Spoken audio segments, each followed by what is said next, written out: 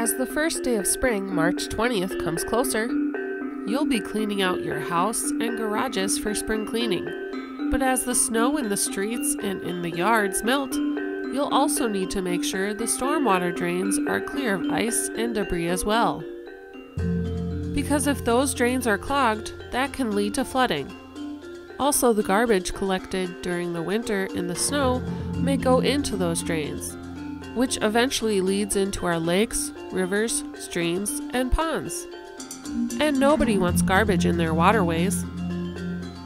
Living in a headwater state and cleaning the drains is part of your civic duty, since debris from here can make its way into the Mississippi and down into the Gulf Coast of Mexico. So the city of Andover is once again participating in a fun challenge with the cities of Blaine, Columbia Heights, and Fridley, as coordinated by the Coon Rapids Watershed District and the Rice Creek Watershed District.